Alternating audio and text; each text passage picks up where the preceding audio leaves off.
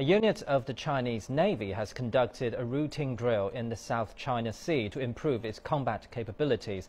An official with the fleet said missile-equipped vessel, vessels tested their capabilities, including emergency docking and undocking, over-the-horizon missile attack, joint air uh, defense, and combined assault against enemy warships.